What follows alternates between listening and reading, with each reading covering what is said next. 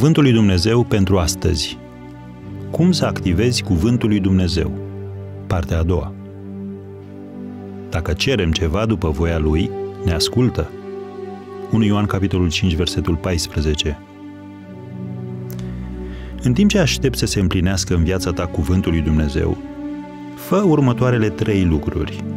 1. Rostește-l. Cel mai eficient mod de a te ruga este să rostești cuvântul lui Dumnezeu. Patriarhii, profeții, psalmiștii îi aminteau cu regularitate lui Dumnezeu promisiunile sale în rugăciune, încrezători că El și le va respecta. Cel mai sigur indicator al voii lui Dumnezeu este cuvântul său.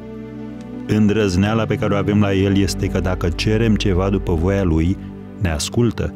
Și dacă știm că ne ascultă, orice am cere, știm că suntem stăpâni pe lucrurile pe care le-am cerut. 1 Ioan, capitolul 5, versetele 14 și 15. Dumnezeu răspunde întotdeauna la cuvântul său. Întotdeauna. Un alt lucru pe care e bine să-l faci, împlinește cuvântul lui Dumnezeu. Planul lui pentru noi este nu doar de a rosti cuvântul său, oricât de vital este lucrul acesta, ci să-l și împlinim. Uite-te și la Iacov, capitolul 1, versetul 22. Vă reamintesc textul unei cântări. Când umblăm cu Domnul și ascultăm cuvântul, cât de glorioasă ne calea. Cât timp îl ascultăm, în el noi rămânem și cu toți cei ce fac voia sa.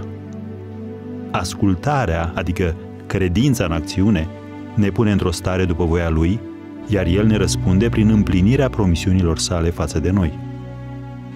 Și încă un lucru pe care e bine să-l faci, transmite cuvântul lui Dumnezeu și altora.